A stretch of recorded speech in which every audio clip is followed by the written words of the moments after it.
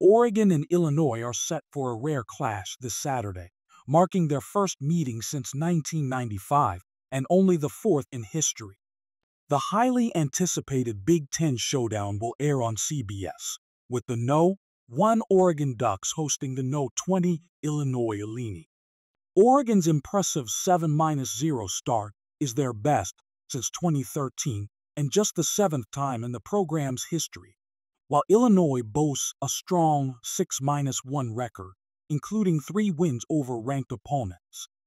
This matchup is particularly significant for Illinois, as it will be their first encounter with a no one ranked team since the memorable 28 21 upset against Ohio State on the road in 2007.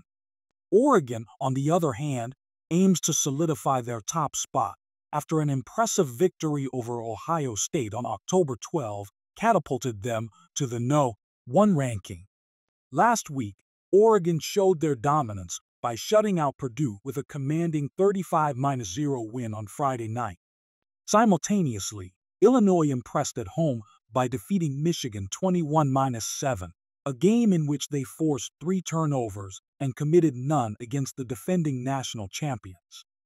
For Illinois to have a fighting chance on the road, they'll need to excel in the turnover department once again. Meanwhile, the Ducks, under the guidance